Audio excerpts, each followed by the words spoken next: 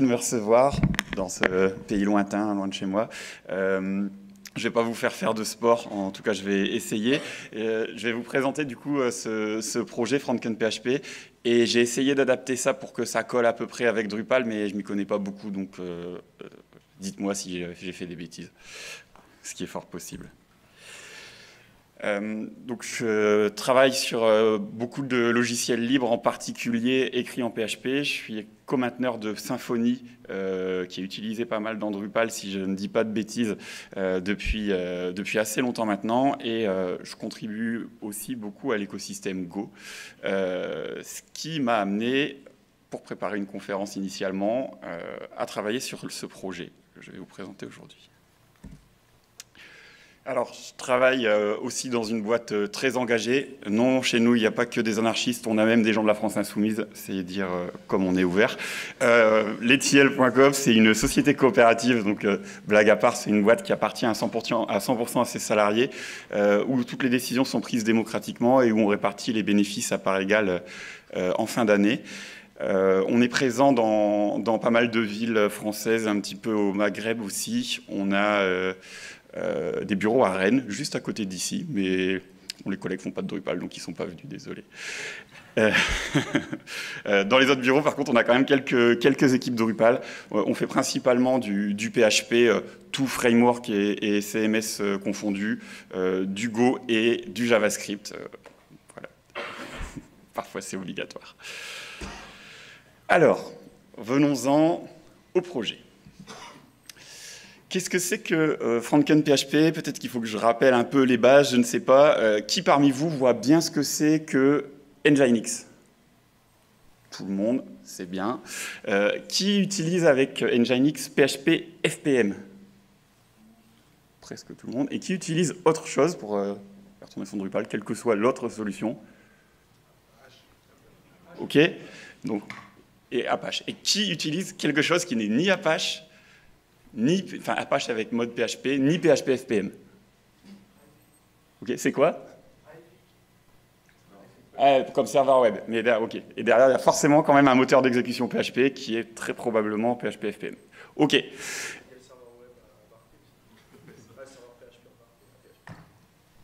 Euh, le serveur PHP. Ah, euh, de, le serveur de développement Ouais, alors effectivement, il y a aussi la possibilité d'utiliser le serveur de, développement tapant PHP-S, mais attention, uniquement en local, parce que c'est pas multithreadé, que du coup, ça peut servir qu'une requête euh, en parallèle, ça fait vraiment pas beaucoup, et du coup, en production, vous risquez d'avoir des sites vraiment très lents si vous utilisez ça. Euh, mais effectivement, il y a, ce truc-là. Ok, euh, PHP, c'est un outil qui remplace à la fois le serveur web, donc Apache ou Nginx, et le moteur d'exécution PHP, donc le module Apache euh, pour ceux qui utilisent Apache, ou PHP FPM. Euh, je reviendrai un petit peu sur, euh, peut-être sur comment ça marche traditionnellement. quand on a commencé à bosser là-dessus, euh, on avait euh, un objectif principal qui était de simplifier euh, nos, déploiements en production, et en particulier dans des, environnements conteneurisés, on a des équipes hébergement, DevOps, SRE, appelons ça comme on veut, et, déployer du PHP, malheureusement, heureusement, c'est plus juste euh, euh, copier des, fichiers via FTP sur un serveur mutualisé OVH. Ça marche toujours, mais la plupart du temps, maintenant, on nous demande d'utiliser des plateformes de cloud, etc. Et ça peut poser euh, pas mal de difficultés avec le setup qui est le plus utilisé, qui est Nginx plus PHP FPM. Il faut au minimum deux conteneurs euh, qui vont communiquer ensemble pour faire parler le serveur web et le serveur PHP FPM. Généralement, la manière la plus performante de faire, c'est d'utiliser un socket Unix, donc il faut un volume partagé entre ces deux conteneurs. Enfin bref, un truc qui était très très simple à la base est devenu assez compliqué. L'objectif initial, du coup, c'était de simplifier ces déploiements. En travaillant sur le projet, on s'est rendu compte qu'il y avait possibilité de faire beaucoup mieux que ça, euh, simplifier les déploiements, mais aussi quand on n'utilise pas Docker, euh, et euh, simplifier euh, les déploiements aussi en termes de distribution d'applications. Donc ça, j'en reparlerai un petit peu. Cet outil, il est écrit dans un mélange de Go et de C, d'où le nom. Hein. Le nom, c'est un peu une, une, allusion à la composition, à l'assemblage de bout en Go, en C et en PHP évidemment pour, pour, faire, pour faire tourner tout ça. Ce qui permet d'ajouter des fonctionnalités qui sont euh, qui tirent parti de la plateforme web euh, et qui ne sont pas forcément euh, évidentes à, faire en, PHP traditionnel.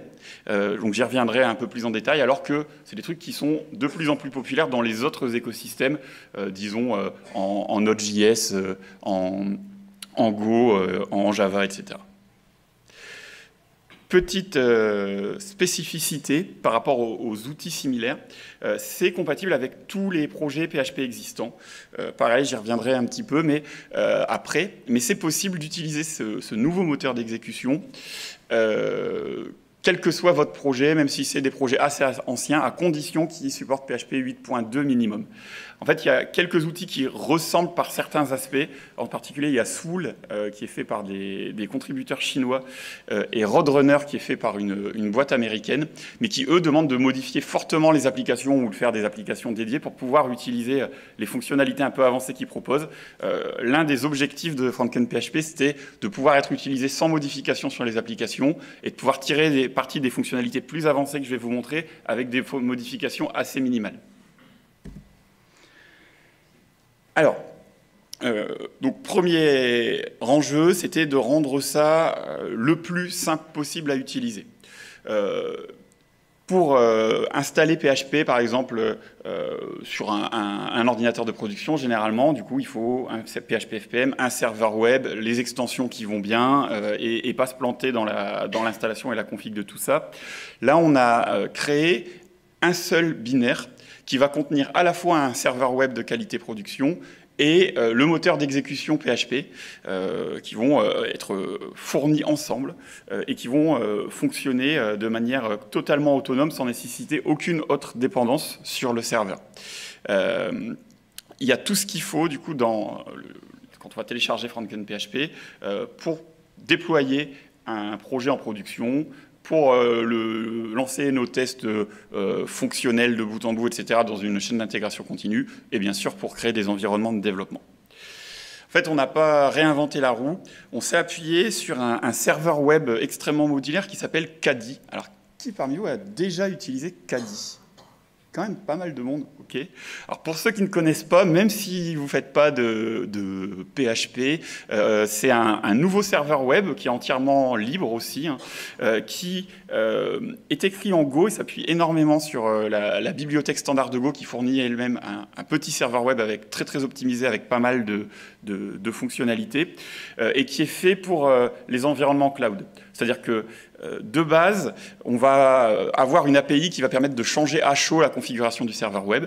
Une autre fonctionnalité très intéressante de Kadi, c'est qu'il va être capable de gérer nativement euh, tout ce qui est génération et renouvellement de certificats TLS pour HTTPS. Du coup, on lance le serveur et avec Let's Encrypt ou, d'autres prestataires de, fournisseurs de, certificats, automatiquement, l'outil va générer des certificats qui sont valides et exposer un site en HTTPS. Euh, finalement, Kadi propose le support de euh, toutes les fonctionnalités les plus avancées de la plateforme web euh, et des protocoles du web, en particulier il HTTP 2 et HTTP 3 qui sont supportés nativement. il y a aussi le support des early hints dont sur lesquels je reviendrai un petit peu après, qui sont une fonctionnalité qui permet d'accélérer les, temps de chargement des, pages web. Donc Kadi, c'est un outil libre écrit en Go. et en fait, dans son installation standard, finalement, FrankenPHP, c'est un module pour Kadi qui est lui-même écrit en Go et en C, qui va venir charger euh, l'exécuteur PHP sous la forme d'une bibliothèque et qui va permettre dans le process du serveur web d'exécuter directement euh, vos scripts PHP. Du coup, ça ressemble à ce qui se faisait avec euh, mode PHP, qui était assez facile à déployer, etc., côté Apache. Sauf que euh, pour euh, diverses raisons, euh, mode PHP est déprécié chez Apache et il ne recommande plus son utilisation. Bon, du coup, il y avait un, peu un, vide à, combler qu'on essayait de faire aussi. Alors, au cœur de l'outil, il y a une bibliothèque en Go. Du coup, c'est cette bibliothèque, elle permet finalement d'exécuter du code ou des scripts PHP depuis une application euh, depuis un programme écrit en Go et de récupérer le, résultat de tout ça. Elle permet aussi d'intégrer les scripts PHP, de les servir via le serveur web natif qui est, fourni dans la bibliothèque standard de Go. Euh, c'est une bibliothèque qui est, du logiciel libre et qui est utilisable avec n'importe quel programme en Go. Du coup, il n'y a pas besoin du serveur web Caddy pour ça. Si vous, en, Go, vous pouvez créer un, petit serveur HTTP en quelques lignes de code. Euh, et du coup, si vous utilisez cette bibliothèque, bah, vous pouvez ajouter le, support de PHP à votre, euh, à votre programme en Go très facilement. on a joué un petit peu avec ça. Qui parmi vous a déjà utilisé Symfony sans Drupal? Le monde, ok. Euh, Symfony, quand on l'installe, on doit télécharger un petit binaire qui est lui-même écrit en Go et qui permet de créer les, répertoires et les fichiers du projet, de lancer un petit serveur web de développement, etc. Et du coup, on a, on l'a pas encore release, mais euh, on a une, un patch qui est disponible sur GitHub qui permet d'utiliser FrontKernPHP euh, dans ce binaire Symfony CLI euh, pour exécuter les scripts en développement et ça n'utilise pas du tout Caddy. Ce serait aussi possible théoriquement euh, d'intégrer Franken PHP dans Traffic dont on parlait tout à l'heure qui est écrit en Go. Donc euh, techniquement ça, ça, pourrait fonctionner, on n'a juste pas pris le temps de le faire pour l'instant mais en tout cas c'est conçu pour. Du coup ça permet d'embarquer PHP dans n'importe quel programme Go. Pour faire ça, en, fait, PHP propose depuis toujours euh, une couche d'abstraction qui permet de brancher le moteur d'exécution sur des serveurs web. C'est ce qu'on appelle les serveurs API, SAPI. Euh, et les plus populaires, on en a déjà parlé, donc c'est euh, celle qui expose la SAPI via le réseau qui s'appelle PHP-FPM. C'est le module pour Apache. Et c'est le petit serveur web de développement, PHP-S, dont on, dont on a parlé. Il y a aussi d'autres SAPI qui sont un peu moins connus. Euh, il y en a un pour lancer PHP, en, pour exécuter des scripts en ligne de commande, qui lui est très connu. Puis il y a des intégrations avec quelques autres serveurs web un peu moins connus, comme Light HTTPD. Euh, du coup, en plus de ça, on a écrit un module pour le serveur web Caddy qui utilise cette bibliothèque. Donc, dans les faits, quand on parle de PHP, en tout cas quand je vais en parler là dans, cette conférence, on va parler du, on va dire du serveur complet fini qu'on installe sur sa machine, mais il faut savoir qu'il y a aussi une bibliothèque Go qui est utilisable pour les développeurs Go euh, dans n'importe quel, quel, projet. Donc ça, ça nous a permis de euh, finalement ajouter le support de PHP nativement sans avoir besoin de dépendance externe à Caddy.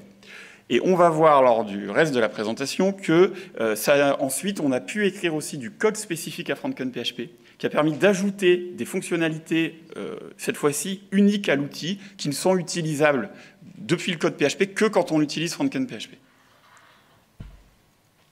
Alors, petit tour euh, d'horizon de, ce que ça fait par défaut et que ne font pas, généralement pas, sauf à installer des, modules un peu spécifiques, etc., euh, Nginx et Apache. Donc déjà, on en a parlé, euh, le support euh, natif de HTTPS sans avoir besoin de certbot euh, ou, d'autres outils externes. Le support natif d'HTTP 3 qui permet d'améliorer fortement les, performances des, applications web et qui est supporté par défaut par tous les navigateurs du, du, moment depuis, depuis un moment, et aussi bien sûr de HTTP 2 et de HTTP 1 le support de la compression, y compris euh, Brotli euh, et, Z-Standard, qui sont des, formats euh, qui permettent d'avoir des, taux de compression encore meilleurs qu'avec gzip, et gzip est aussi, est aussi supporté. et puis ensuite, des fonctionnalités qui sont, on va dire, moderne et, pratique dans des infrastructures cloud. Euh, le support natif des logs structurés, c'est-à-dire que par défaut, les logs vont être émis sur la sortie standard du programme et vont être en JSON. Euh, et du coup, vont pouvoir être très facilement ingérés par toutes les stacks type ELK, etc., pour lesquels on va pouvoir faire de l'analyse de logs, etc. Euh, et c'est entièrement paramétrable, configurable. On peut choisir exactement ce qu'on log, quels entêtes, quels éléments de, la requête et où on le log, si on veut le loguer ailleurs dans d'autres systèmes que directement sur la sortie Il y a aussi le support natif euh, du tracing et des métriques avec euh, euh, Prometheus. du coup, pour la, prod, pour avoir des, métriques qui sont, pointues, du coup, vous en avez qui sont fournis par Caddy et Franken PHP en rajoute quelques-unes qui sont spécifiques à PHP.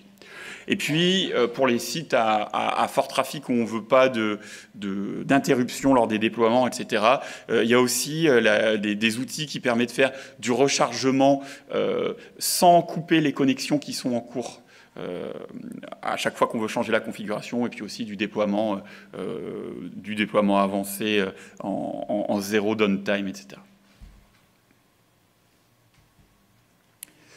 Donc si on résume, on a un outil qui est compatible avec à peu près toutes les applications PHP qui sont elles-mêmes compatibles avec les versions récentes du langage. On l'a testé euh, avec succès euh, avec euh, Drupal, Laravel, Symfony et même avec WordPress ça marche. Il y a même en fait des gens de, si j'ai bien compris, de automatique qui sont en train d'intégrer ça pour faire une distribution plus ou moins standard de, de WordPress qui n'utiliserait pas Apache.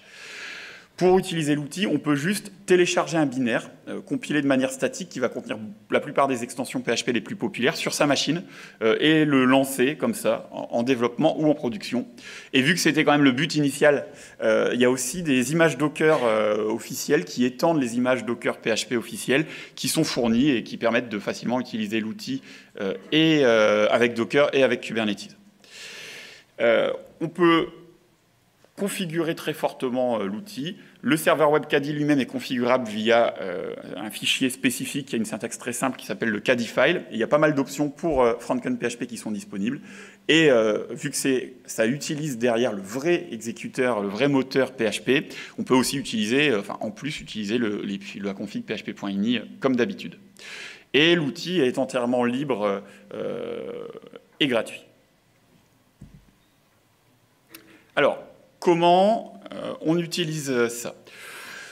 Euh, on, je montrerai après pour les applications classiques, mais il y a la communauté Drupal qui a euh, créé un squelette qui, en gros, fonctionne à peu près de la même manière et qui, si je me ne dis pas de bêtises, étend les images euh, Drupal officielles, sauf qu'au lieu euh, d'utiliser Apache, je crois que c'est ça par défaut, ça va utiliser Franken PHP. Du coup, si vous voulez tester dès maintenant sur un projet Drupal, vous pouvez aller sur ce dépôt GitHub et lancer ces commandes. Donc vous voyez qu'en gros, il suffit de faire docker compose up et puis un fichier docker compose qui va lancer un serveur Postgres, le serveur PHP et euh, ça devrait être fonctionnel. Et du coup, vous allez avoir toutes les fonctionnalités euh, type HTTPS euh, automatique, support de HTTP3, etc. automatiquement.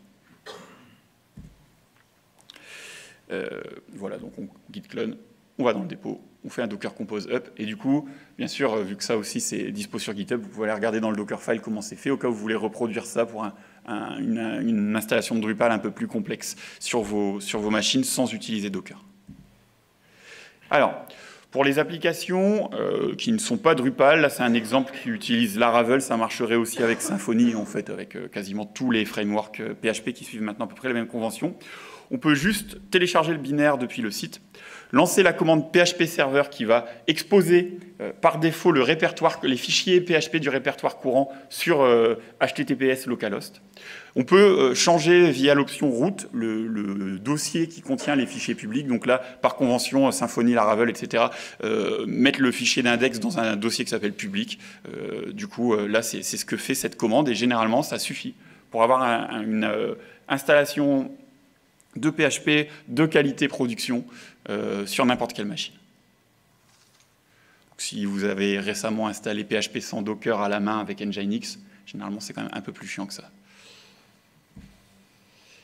Alors, en travaillant sur le projet, on s'est rendu compte qu'on avait aussi euh, l'opportunité d'ajouter un mode plus particulier qui euh, permet d'améliorer vraiment fortement les performances euh, des applications PHP. Euh, et ce qu'on appelle le mode worker. Donc c'est un mode qui est entièrement optionnel et qui n'est pas activé par défaut. C'est de l'opt-in, mais qui par contre va permettre, modulo le fait que vos applications soient un tout petit peu conçues pour et surtout codées correctement. Je vais y revenir après, mais c'est pas ça. C'est c'est parfois un peu compliqué, euh, d'améliorer vraiment euh, fortement les, performances de, vos applications PHP. Alors, l'idée derrière ça, ça va être d'utiliser les techniques qu'ont euh, introduites les outils comme Roadrunner et Spool, et en fait de copier le mode de fonctionnement des serveurs dans les autres langages de manière traditionnelle. Ça va être de booter au démarrage du serveur web notre application PHP, de la garder en mémoire, et de réutiliser cette application PHP déjà bootée pour traiter les requêtes qui arrivent. Alors, peut-être que je revienne un petit peu en arrière. L'une des forces historiques de PHP, c'est que c'est un langage dit fire and forget. C'est-à-dire que euh, quand votre serveur HTTP reçoit une requête, votre, euh, il va demander à PHP d'aller exécuter un, fichier. Et du coup, PHP va lancer les, exécuter votre, votre script PHP, euh, exécuter votre Drupal, lire la requête, euh, créer plein de services pour lire cette requête, euh, vous permettre de générer une réponse HTTP, passer la réponse HTTP au serveur web, l'envoyer au navigateur, et ensuite, c'est fini, on fait table rase de tout ce qui a été créé, on flush euh, la mémoire, on libère tout, euh, et puis euh, pour la requête d'après, on recommence. Ça, c'est le mode de fonctionnement traditionnel de PHP.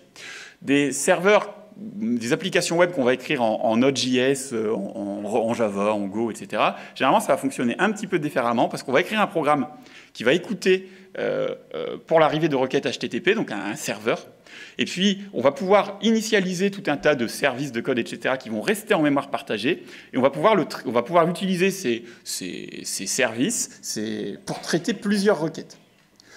L'avantage euh, du mode euh, des autres langages de programmation, bah, c'est que ça permet d'optimiser beaucoup les performances. Prenons le cas de Drupal, euh, Symfony, Laravel, etc. Ils ont un, kernel.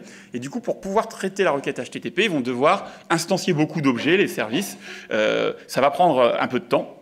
Euh, généralement, on va utiliser beaucoup de bibliothèques euh, open source, tierce party. Il va falloir aussi les charger avec l'autoloader de Composer, etc. Ça aussi, ça va prendre un peu de temps. Si vous prenez un outil comme euh, Blackfire ou Tideways pour profiler votre application PHP, vous allez voir que si votre code est un petit peu optimisé, assez rapidement, vous arrivez quand même à un, un temps de lancement de l'application incompressible qui est quand même significativement, significativement gros. Et ça, il faut le faire pour chaque requête, ce qui n'est pas le cas dans les langages où on va pouvoir avoir euh, du, contexte qui persiste entre chaque requête. Il y a quand même un gros avantage à la, manière de, traditionnelle de fonctionner de PHP, c'est que si vous gérez mal votre mémoire et que vous la libérez pas quand il faut, euh, si vous avez du code un, petit peu moyen qui crée, euh, sais pas, des variables globales un peu pourries, etc., c'est pas très grave parce qu'après chaque requête, de toute façon, on remet tout le contexte à zéro. Si vous êtes dans un autre langage de programmation ou si vous utilisez le mode worker là, de FrankenPHP, de Spool, de Roadrunner, ça va devenir grave parce que là, euh, vous allez pouvoir traiter plusieurs requêtes avec euh, le même script PHP. Donc, euh, si vous avez une fuite de mémoire, au bout d'un moment, vous allez saturer toute la mémoire et votre, votre serveur va planter. Donc, ça demande quand même de faire un peu plus attention. Mais faire plus attention va permettre de gagner beaucoup en performance. Du coup, je résume un petit peu comment ça marche. Le serveur web, quand il va démarrer, euh, on va pouvoir lui indiquer un script PHP à, démarrer en tâche de fond, ce qu'on va appeler un script worker. Donc ce script PHP, là pour l'instant, il est vraiment euh, complètement indépendant des requêtes HTTP qui vont arriver.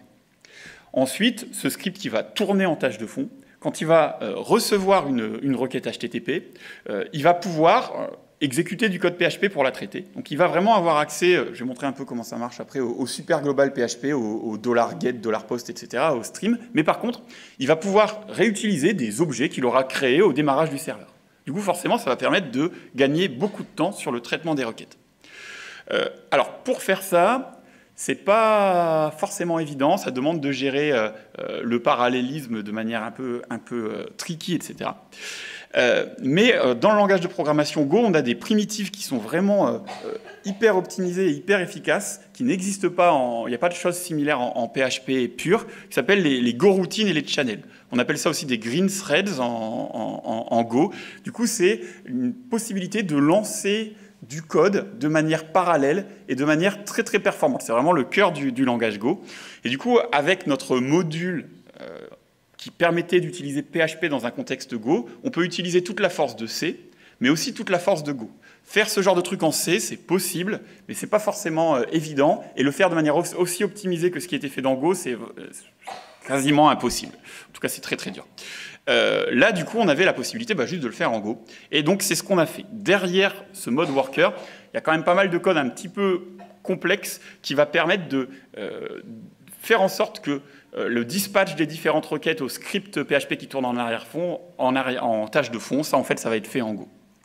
Alors, ça ressemble un peu à un autre outil qui, lui, euh, est, est aussi écrit en Go, qui s'appelle Roadrunner. Il y a quand même une, qui permet aussi de faire ça, mais il y a une différence fondamentale sur la manière dont c'est implémenté. Roadrunner, c'est un peu comme PHP FPM, c'est un, service dédié qu'on installe dans un coin, qui expose à un socket réseau, et ensuite il faut un serveur web à côté. Il va y avoir des échanges réseau pour traiter les, requêtes PHP en, tâche de fond. C'est un peu comme si on avait un worker qui était un, autre serveur à côté, et puis le serveur web dialogue avec. Euh, PHP, là, c'est pas ça, c'est vraiment... Euh, un seul process, et c'est vraiment juste finalement techniquement un appel de fonction euh, euh, style C. En fait, c'est du Go qui appelle du C, du C qui appelle du Go, etc. Mais on peut mélanger du Go, du C, de l'assembleur assez facilement. Et là, techniquement, il n'y a pas d'appel réseau, il n'y a, pas de, a pas de choses comme ça. C'est vraiment juste en interne un appel de fonction. Le serveur web euh, appelle une fonction qui va permettre au script worker de traiter le, le, la, la, requête. Comme on va le voir, du coup, ça c'est beaucoup plus rapide, même que Roadrunner, qui est lui-même beaucoup plus rapide que PHP FPM. Autre différence importante avec euh, Roadrunner, euh, ils ont fait une API euh, vraiment spécifique, donc il faut du code fait pour Roadrunner pour que ça fonctionne avec. Pour Soul, c'est pareil. et en particulier, il faut utiliser des trucs avec les PSR7 et ça, vous savez, vous avez peut-être suivi les. Je sais que dans la communauté Symfony, on n'est pas hyper fan de, cette PSR. Bref, dans Franken PHP, on a on a pu faire beaucoup plus simple. En fait, on utilise juste les super global PHP, $get, $post, etc. traditionnels. Ce qui fait qu'ensuite, si au-dessus de ça, vous voulez utiliser PSR7 ou HTTP Foundation ou n'importe quel autre truc, ça va, ça va fonctionner assez facilement. Et dernière grosse différence avec les trucs comme Roadrunner, euh, euh, bah, c'est que ce mode, il est entièrement optionnel. C'est-à-dire que vous pouvez aussi utiliser une application qui n'est pas faite pour fonctionner comme ça, ce qui n'est pas le cas de, Roadrunner et compagnie. Alors, euh, dans Symfony, depuis quelques temps, il y a un composant qui permet de booter l'application euh, sur différents environnements. Ce composant s'appelle le composant runtime. Je ne sais pas si euh, parmi vous, il y a des gens qui l'ont déjà utilisé. Alors, tous ceux qui ont levé la main tout à l'heure en disant qu'ils avaient fait du Symfony sans Drupal, vous l'avez forcément utilisé si vous avez fait ça il y a moins de 3-4 ans. Parce que c'est installé par défaut. Et en fait, c'est ça qui permet, c'est ce que vous avez dans le fichier index.php, enfin public index.php de Symfony, qui permet de lancer l'application. En fait, ce composant est assez pratique parce qu'il permet d'abstraire euh, comment on va démarrer une application. Et ça va être pratique pour le mode worker de, de, de Franken PHP parce qu'on va pouvoir juste fournir une autre implémentation du runtime et avoir le support automatique du mode worker de Franken PHP pour n'importe quelle application Symfony. Pour Drupal, je sais qu'il y avait des tickets d'ouvert pour utiliser le, composant runtime, euh, mais je ne sais pas si ça a été euh, terminé ou pas, et j'avoue que je n'ai pas vérifié. il me semble qu'il y a des ateliers de contribution aujourd'hui euh, et, demain. Demain, je ne sais pas si je serai là, mais aujourd'hui, je serai là toute la journée. Et euh, on en discutera un peu, mais si euh, vous voulez bosser avec moi pour essayer d'améliorer le support de PHP par Drupal, ce sera avec plaisir. Alors, en Symfony. Du coup, sur n'importe quel projet Symfony qui utilise le composant runtime, il n'y a qu'à installer le système de gestion des, workers, qui s'appelle, tout ça est disponible dans un dépôt qui s'appelle PHP Runtime, du coup on installe le paquet composer PHP Runtime Franken PHP Symfony. On démarre Franken PHP en lui indiquant avec l'option W, on peut aussi le faire dans un fichier de configuration, quel est le script worker à utiliser. Par défaut, avec Symfony, avec le mode runtime, c'est juste index.php, le même que l'on aurait euh, euh, avec euh, Apache, etc. Et voilà, ça marche. On a le traitement, on a Symfony qui est démarré une fois, alors, qui est démarré une fois au démarrage du serveur web. En fait, pour être exact, il va être démarré deux fois le nombre de CPU de votre machine. Parce qu'il euh, n'y a pas un seul script worker qui démarre, mais on essaye d'utiliser le CPU au maximum, d'après des, calculs hyper empiriques et pas forcément hyper fiables qu'on a pu euh, effectuer avec les IO, etc. Le mieux, c'est deux. Ça dépend des applications, donc on peut changer, euh, on peut stress tester un peu l'application et changer le nombre de, workers qu'on démarre. Du coup, on en, démarre deux par euh, CPU. Du coup, on va avoir un nombre de workers qui vont attendre à traiter des requêtes qui va être deux fois le nombre de CPU par défaut. en fait, techniquement, il n'y aurait pas qu'une instance de l'application, mais il y en a euh, deux fois le nombre de CPU. C'est un, un peu du détail. Alors, et voilà. ça, sur nos applications Symfony, ça va nous permettre d'accélérer énormément nos, performances. Euh, il y a euh, la même chose qui est disponible pour Laravel, ça s'appelle Laravel Octane. Ça utilise aussi le mode worker de Franken PHP et eux supportent aussi, comme d'ailleurs Symfony Runtime, d'autres outils comme Roadrunner et Soul dont j'ai parlé. Et il y a quelques autres euh, outils, CMS, etc., qui supportent nativement ce mode worker. Euh, malheureusement, pour l'instant, ça ne marche pas avec Drupal parce que j'ai cru comprendre qu'il y avait des problèmes de session, euh, avec des états partagés, euh, un peu des variables globales, qui, du coup posent problème quand on réutilise le même code d'une requête à l'autre. Mais c'est pareil, je suis disponible cet après-midi pour regarder s'il y a une solution pour régler ça, si nécessaire. Bref, la core team de Laravel a fait pas mal de, tests et a, ouais, ils ont été ils nous ont bien rendu service parce qu'ils ont tellement manipulé l'outil du genre, euh, on met en prod direct parce que sur notre machine, ça augmente les performances énormément, qui nous ont envoyé un nombre de reports de bugs énorme et on a pu fiabiliser vraiment beaucoup l'outil grâce à eux. Donc honnêtement, c'était plutôt pratique. Donc l'équipe de, Laravel a fait, a fait des, benchmarks sur leur outil Laravel Octane, mode, mode worker. Et du coup, là-dessus, ils, arrivent quand même à des résultats qui sont euh, assez impressionnants. Euh, euh, du coup, est cinq fois plus rapide que Swool et plus de deux fois plus rapide que, que, Roadrunner, qui étaient eux-mêmes 15 à 20 fois plus rapides que PHP FPM. Donc vous voyez qu'en termes de performance web, ça fait quand même une différence énorme. Sur, alors c'est une page standard hein, qui fait euh, pas grand-chose si ce n'est euh, booter euh, Laravel et puis afficher un CRUD, mais ça peut quand même faire des différences énormes en termes de performance quand on compare à du PHP sans mode worker. Attention, il y a une contrepartie, il faut que le code pour ce mode-là soit prévu pour fonctionner correctement.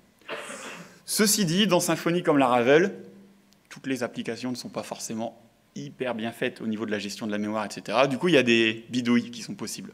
Par exemple, les deux, la Symfony comme la Ravel, proposent une euh, option de configuration qui permet de redémarrer le script The Worker après quelques requêtes. Comme ça, même si la mémoire n'est pas gérée très bien et qu'il y a une fuite de mémoire, bah, vu que c'est redémarré régulièrement, ça ne fait pas exploser euh, euh, la production. Du coup, il y a quand même quelques trucs qui permettent de l'utiliser assez facilement sur des applications qui n'ont pas été conçues pour. L'idéal, c'est quand même de trouver pourquoi il y a une fuite de mémoire et de la corriger. Alors, autre fonctionnalité qui, elle, marche avec Drupal, euh, qui est spécifique à FrankenPHP. Le support du code de statut HTTP 103. Alors, qui a déjà entendu parler de ce truc? Ah, Quand même pas mal de monde. J'espère que du coup pour les autres, vous allez apprendre un truc et tester euh, ça dès que vous allez rentrer euh, sur vos projets clients. en fait, il y a quelques années maintenant, il y a eu une RFC expérimentale pour ajouter un, nouveau code de statut qui avait pour but, comme beaucoup de trucs dans le groupe de travail HTTP, euh, d'améliorer la performance des, sites et applications web. Et ça a été fait en particulier pour les applications où il y a beaucoup de JavaScript. Et il faut télécharger plein de JavaScript avant qu'on puisse euh, euh, afficher quoi que ce soit à l'utilisateur. généralement, beaucoup de JavaScript pour charger beaucoup de pubs. Le plus simple pour optimiser ces applications, ce serait de supprimer la pub, mais ça n'a pas l'air d'être le, le thème. Bon. Euh, alors, qu'est-ce que c'est euh, Ce truc, ça n'a pas été implémenté pendant longtemps parce qu'il y avait dans HTTP 2 un truc qui était une alternative qui était censée être plus efficace, qui s'appelait HTTP 2 Server Push. À un moment, Google euh, a dit euh, bon, il faudrait supprimer ça de l'aspect HTTP. Euh, les gens du groupe de travail HTTP ont dit bah, pourquoi c'est dans l'aspect, de toute façon on peut pas le supprimer? Ils ont dit bon, c'est pas grave, nous on le supprime de Google Chrome, c'est trop chiant à maintenir, ça marche pas aussi bien qu'on le pensait. Voilà, ça ce n'est plus supporté par Google Chrome. C'est encore supporté par Firefox, mais vu les parts de marché de Chrome, ce truc-là est mort. Ils se sont dit, il y a quand même, ça répondait quand même à un vrai cas d'usage. Du coup, ils ont ressorti cette spécification et elle a été implémentée par Chrome pour compenser serveur push et elle est aussi supportée par Firefox et tous les autres, euh, tous les autres navigateurs depuis pas très très longtemps. C'est un avantage quand même par rapport à HTTP2 serveur push, c'est que c'est beaucoup plus simple euh, et à implémenter et à comprendre et à coder pour les développeurs web. Donc ça, c'est quand même cool. Alors, ce truc, depuis cet été, c'est supporté par tous les navigateurs et ça permet d'améliorer vraiment énormément les, performances des, applications web, en particulier celles qui ont beaucoup d'assets, beaucoup d'images, beaucoup de, JavaScript, etc. Il y a eu euh, des, des, études menées par Shopify, Cloudflare, Google et, quelques gros comme ça. Et vous voyez, donnent des résultats assez, impressionnants. Hein.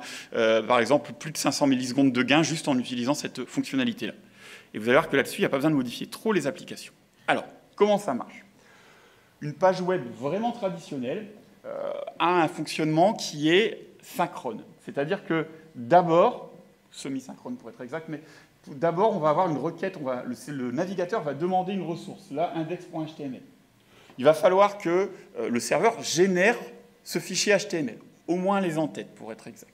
Et du coup, euh, là, vous allez euh, exécuter plein en PHP, plein de codes, plein de requêtes SQL, etc. Ça va prendre pas mal de temps. Au bout d'un moment, vous allez quand même avoir fini vos entêtes, connaître la taille de votre body, et puis vous allez commencer à streamer le HTML. Le navigateur va finir par recevoir le HTML, la balise L, etc.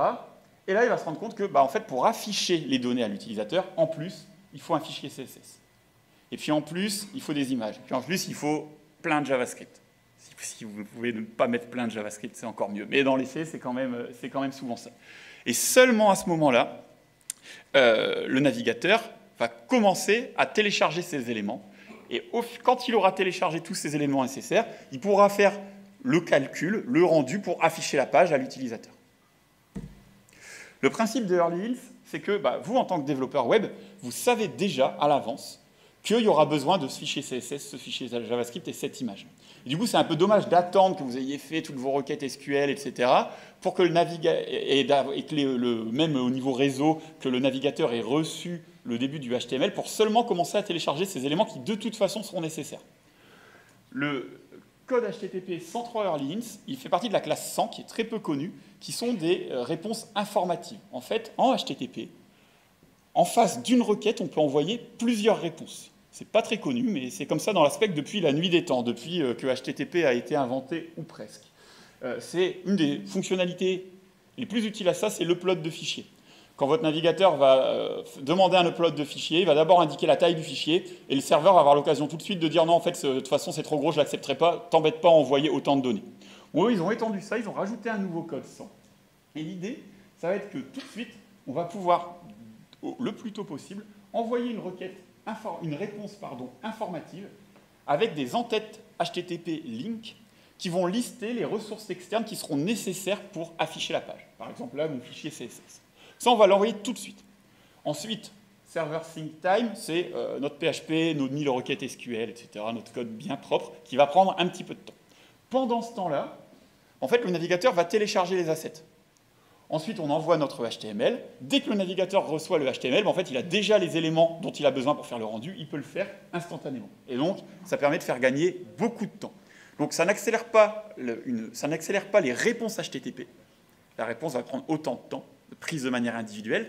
Par contre, ça, ça accélère la latence perçue parce qu'on va pouvoir paralléliser au maximum. Et du coup, au final, la page va mettre moins longtemps à se charger parce que la page est composée de plusieurs réponses HTTP. C'est clair euh, ce que je raconte? Ok. N'hésitez pas sans quoi Donc, je l'ai dit, dans les navigateurs, maintenant, c'est supporté partout. C'est cool. Côté serveur, euh, ça a pris un peu plus de temps parce que ce n'était pas forcément si évident que ça, même si c'était plus simple qu'HTTP Server Push, il faut le reconnaître. Et en PHP, euh, c'est supporté entre autres maintenant en Node.js, on peut faire ça. en PHP, en 2021, Nikita Popov, qui, était le, qui travaille plus pour PHP maintenant, mais qui était le contributeur le plus actif, a commencé à regarder comment euh, implémenter ça. Il a même fait une pull request. Problème, la pull request ne marche pas. Et en creusant un peu, y compris avec les gens qui ont écrit la RFC, euh, on s'est rendu compte qu'en PHP, ce serait juste pas possible d'implémenter ça. Pourquoi?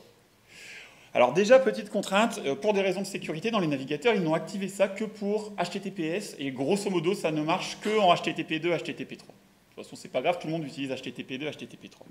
Sauf qu'en PHP, généralement, on utilise PHP FPM, j'en ai parlé au début. Et du coup, la connexion HTTP2, HTTP3, elle est faite avec le serveur web. Le serveur web transforme la réponse HTTP en, en la requête HTTP pardon, en requête FastCGI, l'envoie au serveur PHP FPM, un serveur FastCGI, et le serveur PHP euh, renvoie une réponse FastCGI qui est elle-même convertie en réponse HTTP par le, par le serveur web. Problème déjà, en FastCGI, une requête, une réponse, pas deux, pas trois. Du coup, ça pose un premier souci. Deuxième problème, en fait, de, toute manière, il faut avoir accès à la connexion TCP ou UDP pour faire ça. Et bien là, comme il y a un intermédiaire réseau entre les deux, on ne l'a pas. Et du coup, en PHP, on ne peut pas faire ça tout cas, avec PHP FPM, c'est mort. En Go, théoriquement, c'était possible. Mais malgré que ce soit Google qui ait fait la spécification, Google n'avait pas fait les patchs pour le faire. En pratique, c'était pas si simple que ça. Ceci dit, on a bossé avec, euh, avec l'équipe de Go pour des raisons qui n'avaient rien à voir avec Franken PHP. Terminé Restez près du micro. Ok, pardon. Ah oui, effectivement, c'est mieux. Euh... Du coup, pour des raisons qui n'avaient rien à voir avec PHP, j'avais pu contribuer avec d'autres gens des, des TL, euh, le, support des, early hints, et on avait du coup travaillé avec les équipes de Google, et on avait ajouté le support de ça à Go. Du coup, en commençant à bosser sur PHP, on s'est dit, en fait, il y a le support de ça dans Go, et là, nous, le serveur web Et l'exécuteur PHP, c'est le même process. Depuis PHP, depuis FrankenPHP, on a accès à la connexion UDP. Donc théoriquement, euh, on pourrait, contrairement avec PHP FPM, euh, gérer les, les 103 early ins. Alors vous me dites, tu, tu parles de FPM, mais il y a quand même mode PHP d'Apache. Donc comme je l'ai dit, mode PHP d'Apache, il est déprécié. Théoriquement, il pourrait le faire aussi. En pratique, euh, on a regardé avec quelques collègues euh, comment c'était possible de, le faire et il faudrait refactorer vraiment très très fortement le code, ça, ce serait extrêmement compliqué. Mais du coup, en Go, c'est supporté. Donc, en fait, c'était assez facile finalement d'ajouter le support de ça dans FrankenPHP. On a repris euh, la, RFC qu'avait fait euh, Nikita pour, gérer ça à l'époque, quand il pensait encore que ce serait possible de l'implémenter dans PHP FPM, ce qui n'est pas le cas. Et du coup, on a implémenté des fonctions qui sont disponibles pour l'instant que dans FrankenPHP, mais qui, à terme, pourrait peut-être un jour, par exemple s'il y a le refactoring de fait sur mode PHP et qu'il est plus déprécié, euh, être ajouté dans d'autres SAPI. Du coup, comment ça marche? On utilise la fonction header classique pour régler notre 103 early int. Et ensuite, on a une nouvelle fonction, en fait, euh, qui est ajoutée par FrankenPHP, qui s'appelle header send, mais qui prend cette fois-ci en paramètre un code de statut. Et du coup, si on appelle ça, on déclenche immédiatement une, une réponse 103. Ensuite, on peut faire notre code un peu lent, puis ensuite utiliser echo, etc., comme d'habitude. Et là, on va, envoyer la, réponse finale 200. Ça, vous pouvez le faire dès aujourd'hui dans vos applications PHP, si elles utilisent FrontEnd PHP, et du coup avoir les boosts de performance qu'on a vus juste avant. Et ça, depuis Symfony, Symfony 7, je crois, je ne voudrais pas dire de bêtises, euh, c'est aussi disponible de base dans euh, Symfony HTTP Foundation. Alors pour que ça marche, il faut bien sûr que le moteur d'exécution ce soit FrankenPHP. Mais dans ce cas-là, vous pouvez récupérer votre réponse Symfony, régler l'entête euh, euh, link pour préloader vos JS, vos CSS, etc. Appeler la méthode sendHeaders avec le code 103 et ça va marcher pareil. Du coup, ça, ça marche avec tout ce qui utilise HTTP Foundation, donc Symfony, mais aussi Drupal et Laravel. Donc ça, vous pouvez le faire dès aujourd'hui dans vos applications.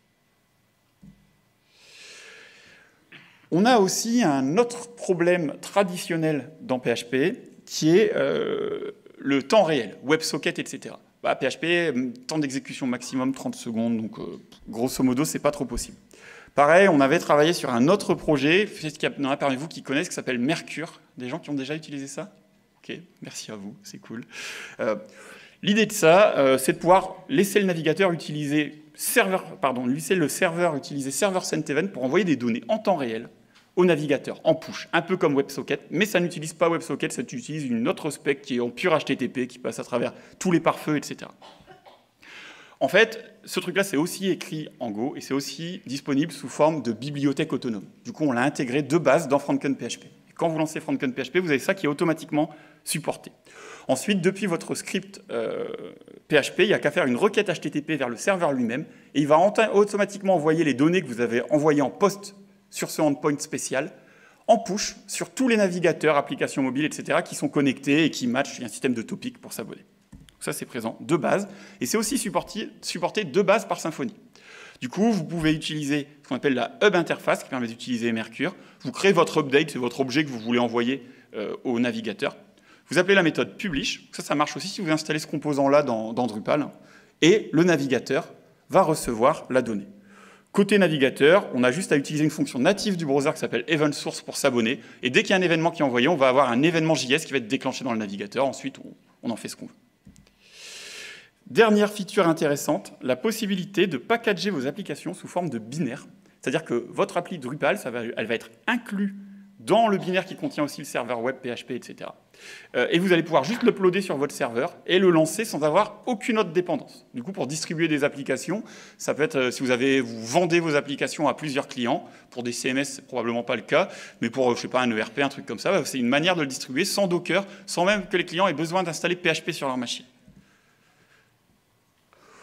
Du coup, là-dedans, il y a tout ce qu'on a vu jusqu'à présent, mais en plus, vous pouvez empacter votre application Drupal et toutes les dépendances dedans.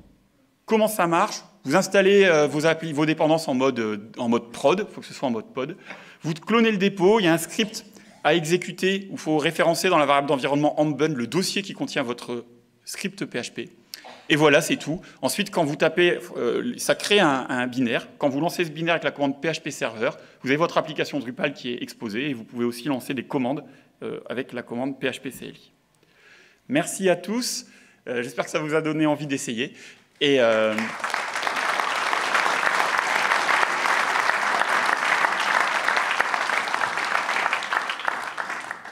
Et du coup, s'il y a des gens qui sont motivés à faire marcher le mode worker avec Drupal, ce qui n'est pas le cas pour l'instant, bah, on peut faire ça, on peut essayer de commencer à faire ça aujourd'hui. on est un peu à la bourre, mais euh, est-ce qu'il y a des questions? Euh, Bonjour, merci beaucoup pour la, pour la présentation.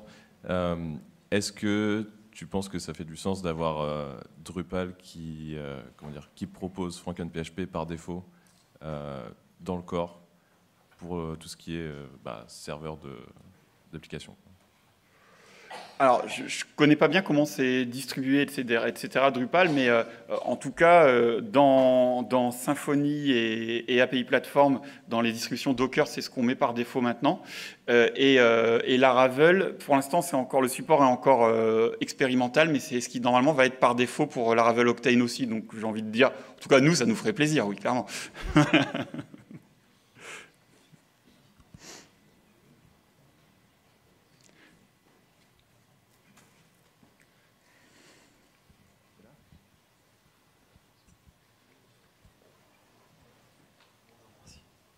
Bonjour et merci. Euh, je voulais savoir, quand tu utilises euh, FPM, tu, peux lancer un certain nombre de processus qui vont être en attente de requêtes, etc. Et du coup, ma question, c'est sur la scalabilité en fait, de la solution. Comment tu présentes les choses? Ouais, alors là, il y, a deux parties un peu différentes. Il y a la partie écrite en Go et la partie écrite en C. Euh, qui cohabitent dans le même process, hein, c'est vraiment de l'appel de fonction entre les deux, mais pour la partie écrite en Go, en fait, Go est fait pour ça, euh, et donc le système de Go Routine, qui est un moteur d'asynchrone extrêmement évolué, probablement le plus évolué, et tout est géré automatiquement. Il y a quelques variables d'environnement qui permettent de configurer quand même un petit peu le moteur, qui peuvent être nécessaires si vous êtes sur des environnements très très contraints, avec très peu de RAM, etc. Mais globalement, si c'est un serveur web classique, vaut mieux laisser le truc par défaut, c'est le mieux. Ensuite, la partie en C, comme je disais, par défaut, on lance des threads. Alors ça utilise ZTS pour le coup, PHP, c'est un système multithreadé, c'est pas, pas des process. Euh, et du coup, par défaut, ça, on lance, euh, je disais, deux par CPU. Et ça, c'est une variable qui est configurable et qui, en fait, est bien de, de regarder en fonction de votre application euh, quelle est la, meilleure valeur. L'idéal, c'est de faire un stress test et puis d'augmenter ou de diminuer, en fait, le, le nombre de workers pour utiliser 100% du CPU et qui est pas, euh, enfin que voilà l'utilisation soit vraiment maximum, mais pas trop et pas pas assez. Euh, dans le futur, là, on, bosse pas mal avec les gens de la, de la fondation PHP, qui a un, un projet, enfin, qui redonne un, gros coup de jeune à, PHP, pour voir si on pourrait pas simplifier quelques trucs dans dans le cœur de PHP pour ne plus avoir à utiliser des vrais threads pour PHP lui-même, ce qui est le cas actuellement, et pouvoir laisser gérer ça à Go directement. Euh, ce qui serait encore mieux et ce qui éviterait d'avoir à faire ces, tweaks-là et qui améliorerait encore la performance. Il y a quand même pas mal de boulot à faire dans le cœur de PHP pour ça. Euh, du coup, euh, on ne sait pas si ça arrivera un jour ni, ni quand, mais il y a encore des, marges d'optimisation possibles. Merci. Bonjour. Un des soucis qu'on a dans Drupal euh, avec les applications qui durent longtemps, comme par exemple des scripts Drush, donc lignes de commande qui vont durer pendant longtemps, en production, c'est les changements de topologie qui interviennent en permanence qui provoquent des ruptures de connexion TCP, par exemple, vers la base de données. Et en PHP, on n'a pas de pool de connexion qui rétablit, et donc les connexions PDO sont coupées. Est-ce que ça apporte un contournement, par exemple, puisqu'en Go, on a un pool de connexion DB, est-ce qu'on pourrait le remonter vers PHP, par exemple? Alors, ça, c'est un problème qui est, récurrent euh, et dans Full Roadrunner Function PHP. Il commence à y avoir du code dans Doctrine, dans Symfony, dans Laravel, il y en a déjà, etc., qui détecte si la connexion a été coupée ou pas, s'il y a eu un timeout, s'il y a eu un problème réseau, et la relance au cas où. Euh, donc, c'est un, peu un hack, mais ça marche pas trop mal. Du pooling, euh, en fait, ça dépend des drivers, de, quelle base de données vous utilisez, quelle extension PHP, mais il y en a qui supportent le pooling en, pur PHP qu'on peut, qu'on peut utiliser, ce qui n'empêche pas que s'il y a un timeout et qu'il n'est pas détecté par le client, il y aura quand même un problème. Du coup, je ne suis pas sûr qu'il y ait un gros intérêt à, gérer ça en Go. Ça doit être possible de le gérer directement au niveau des, extensions PHP, et il me semble que, de, PDO, quoi. Et il me semble qu'il y en a certaines qui le fassent. Ceci dit, techniquement, après, l'un des avantages de la solution pour ceux qui, en tout cas, savent coder bas niveau, c'est qu'effectivement, on peut utiliser n'importe quelle bibliothèque euh, Go, euh, n'importe quel Go, y compris euh, les accès bases de données, accès IO, etc., et les exposer dans PHP via une, via une fonction. Du coup, techniquement, oui, ce serait possible. Euh, c'est pas fait pour l'instant. Je suis pas sûr que ce soit la meilleure approche. Il y a peut-être moyen de faire un truc qui soit qui marche partout, y compris sur FPM, etc. Ce qui est mieux du coup que, de le faire là. Euh, mais, euh, mais, techniquement, ce serait théoriquement possible. D'autres questions?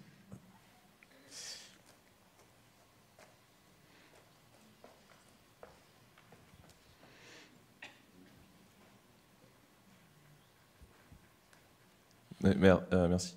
Euh, moi, ce serait plus une question sur euh, l'environnement plus que la technique. en fait, c'est depuis combien de temps ça, a commencé Franklin PHP Est-ce qu'il y a un business model derrière? Enfin, en gros, sur le long terme, ouais. si on veut utiliser ça dans Drupal, on a besoin que ça soit solide pendant enfin, une dizaine d'années, quoi, au moins. Mm. Est-ce qu'il y a une perspective comme ça? Et c'est quoi un peu les, les supports qu'il y a derrière financiers quoi? Ouais. Alors, c'est une bonne question. Comment ça a commencé? Euh, À la base, c'était euh, un, truc euh, pour s'amuser, puis un sujet de conférence pour essayer de faire marcher le moteur d'exécution PHP dans un truc en Go. Ça n'avait pas vocation à devenir un, vrai projet, mais en fait, il s'avère que ça marchait mieux que prévu, donc on a, poussé le truc.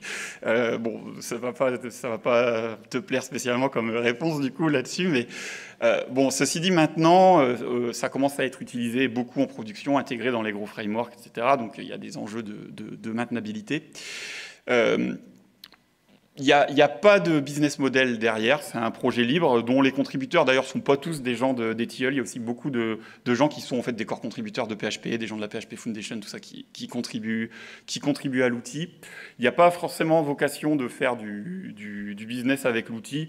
Euh, après, ce qu'on fait chez les TIL, généralement, c'est aussi le cas pour API Platform qu'on maintient ou, Symfony dont on est co-mainteneur, euh, c'est que bah, on considère qu'on fait du bon boulot euh, quand les gens utilisent les Twitno et ont un besoin, ils nous appellent. Quoi. Du coup, généralement, ça, finance le truc.